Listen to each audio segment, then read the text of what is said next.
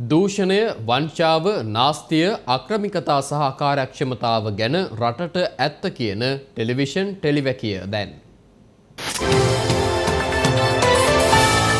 Television ටෙලිවැකිය මේ ලෝකය යහපත් අතට සේම අයහපත් අතටත් පෙරලා දැමූ මිනිසුන්ගේ නම් ඉතිහාසේ සඳහන් වෙනවා. සමහර නම් ඉතිහාසේ සඳහන් වන්නේ කුණුබක්කි තුළයි. ඒ බොහෝ උන්දලා මේ සුන්දර ලෝකය විනාශකිරීමට උත්සාහ කළ නිසා එක්කෝ විනාශ කරපු නිසා කුණුබක්කියට වැටිලා තියෙනවා. හොඳේ දැන් ලෝකයට යහපත කළ නම් ලයිස්තු හරි දිගයි. හොඳ මිනිස්සුන්ගේ නම් ලයිස්තුව දිගයි. ඒ අතර ඔය අයහපත කළ අපරාධකාරින්ගේ නම් ලැයිස්තුව කෙටි.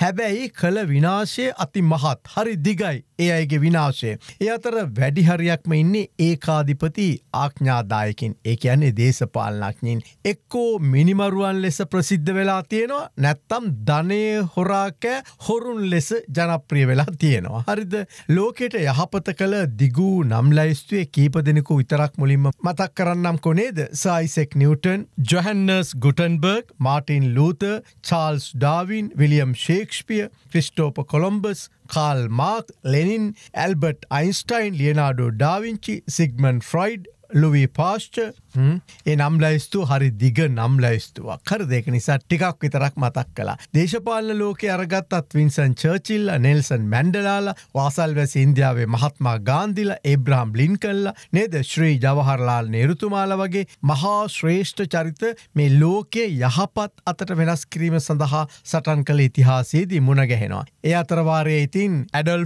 හිටල පොල්පොට්ල ජෝසප් ස්ටාලින්ලත් ඉතින් හරිද මුණගැහෙනවා ලක්ෂ ගණන් මිනිස්සුන්ගේ ජීවිත උදරගත්ත අපරාධකාරය හැටියට ඉතිහාසේ කුණුබක්කේ සටහන් වෙලා තියෙනවා. ඔය සමහර පාලකින් දිහා බලපුහාම ඇත්තටම මේ කෘරතර බවට අමතරව අතිශය භයානක පිස්සු ගතිත් තිබිලා තියෙනවා නේද. එකන අර ප්‍රසිද්ධ කතාවත් තියන්නේ පිස්සෙකු රජ වනත් රජකු පිස්සෙක වුණත් දෙකම එකයි කියලා නේද. ලෝක ඉතිහාසේ බලනකොට එහෙම හරි අමුතු කතා කියවන්ට පුළුවන්. නොදේ ඔය රෝම අධිරාජ්‍යයේ ඉඳලා තියෙනවා කලි ගිව්ලා කියලා අධිරාජ්‍යයෙක්. අගස්ට සීසගෙන් පටන්ගන්න රෝම අධිරාජ්‍යයේ තුන්වෙනි පාලකය. කල්ලි ගිව්ලා.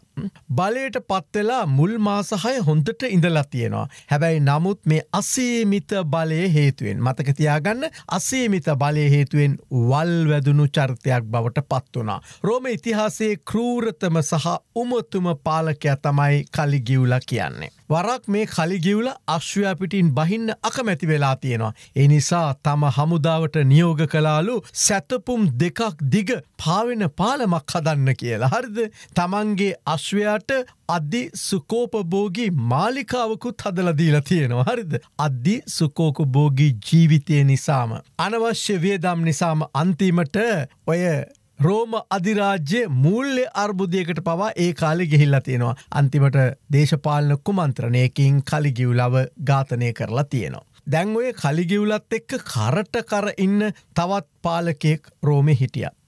එක්කෙනෙක් අනෙකට දෙවනි නෑ. ඔහු නීරෝ. නීරෝගේ මාම තමයි කලිගිව්ල කියන්නේ එකයි කිව්වේ තකට තක කියලා. මාම වගේම කරූරතර පාලකෙක් තමයි නීරෝ ඒ ඇන්නේ කලිගිව්ල වගේම කරූරතර පාලකෙක් නීරෝ. හරිද අර රෝමය ගිනි ගනිද්දී නීරෝ වීනාවාදනය කලා වගේ කියලා කතාවත්ති නොනේද අන්න ඒ නීරෝ තමයි. නීරෝට වයිසවුරුදු දාහතේදී තමන්ගේ අම්මව මරාදාලා තියෙනවා. ඔය නීරෝගේ අම්මගේ නම ඇග්‍රිපිනා. ඇය ගමන් කරමින් තිබුණු නැව ගිල්වන්න හමුදාවට මේ මනුස්්‍යයා නියෝග කරලා. නීරෝගේ මව කෝම හරි බේරිලා ගොඩබිමට එනවා. එහිදී ඇයව ආපසු සැරයක් හමුදාවට අනදීලා ඝාතනයම කරලා දානවා. අම්මව ඝාතනය කළ පුතෙක් නීරෝ. තමන්ගේ පළමු බිරිඳවත් ඝාතනය කරනවා. නීරෝට තිබුණ මේ හරි අමුතු ලෙඩක් මේ ස්වර්ණමය මාලිගා පිස්සුවක් හොඳේ ඉතින් මේ එහෙම මාලිගාවකට ඔය ඉඩකඩම් අත්පත් කරගන්න ඕන වුණහම තමයිලු ඔය රෝමේ එක ප්‍රදේශයක් ගිනි තිබ්බ කියලා කියන්නේ. එතකොට ඒ ප්‍රදේශය ගිනිගන්නකොට එකැන රෝමය ගිනිගන්නකොට නීරෝ වීනාවයමින් හිටියලු හරද අන්තිමට මේ කරූරතර අධිරාජ්‍යයට සිය දෙවීහානි කරගන්ට සිද්ධ වෙනවා. මේ රෝම ඉතිහාසයේ කරූරතම පාලකින් දෙන්න ලෙස තමයි ඒ අනුව කලිගිවල සහ නීරෝ නම් කර ඇත්තේ. හොඳේ මේ දෙන්න මාමයි බෑනයි. අසීමිත බලය උන්මත්තක පාලකින් බිහි කරන බව අද ටෙලිවැකිය අවසන් කරමින් සටහන් කරන්නේ ලෝක ඉතිහාසේ සාක්ෂිවලිනුයි.